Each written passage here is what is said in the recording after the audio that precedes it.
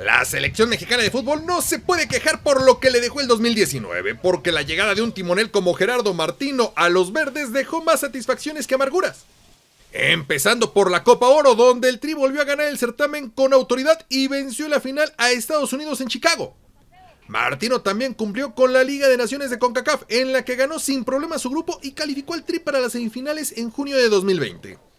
Los números del técnico argentino no podían ser mejores en su primer año con el Tri, ya que de 17 partidos disputados ganó 15, empató uno y solo perdió uno.